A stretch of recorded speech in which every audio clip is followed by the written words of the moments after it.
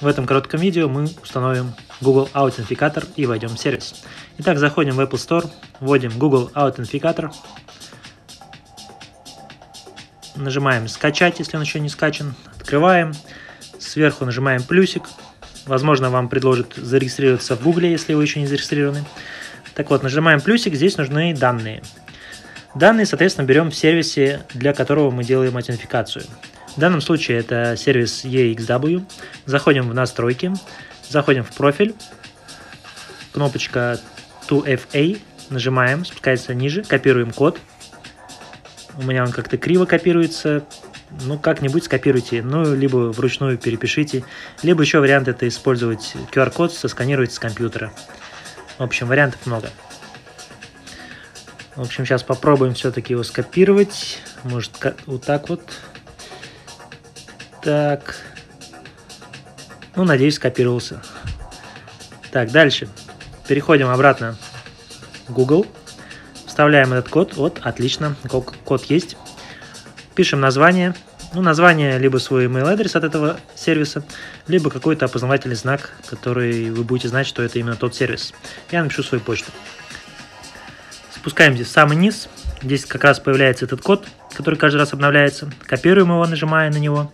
Возвращаемся в сервис, спускаемся ниже, вставляем этот код. Нажимаем Next.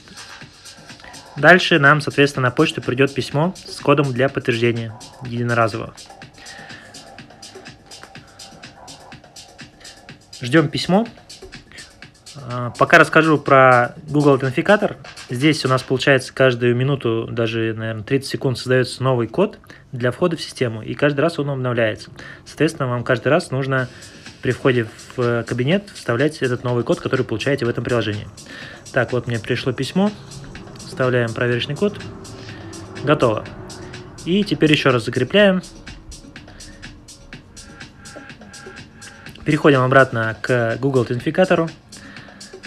Там копируем код, который генерируется каждые 30 секунд. Копирование можно нажать и держать, он копируется. Вставляем его в это окошко. И бинго, готово. Так, теперь проверим, зайдем еще раз в профиль, посмотрим какой статус. 2FA, статус is enabled. Отлично, значит все подключилось. Теперь нам нужно выйти из личного кабинета, чтобы протестировать, что действительно все правильно. Итак, заново заходим. И сразу же спрашивается код. Возвращаемся в Google, копируем код, вставляем его в поле, нажимаем Submit. Все, вход успешен. А значит, все настроено правильно. Поздравляю. Пересмотрите это видео, если было очень быстро. Ну, все тут достаточно просто и понятно. Поэтому защищайте себя, защищайте свои деньги, свои данные, пользуйтесь технологиями, которые позволяют это сделать, и будет вам всегда профит.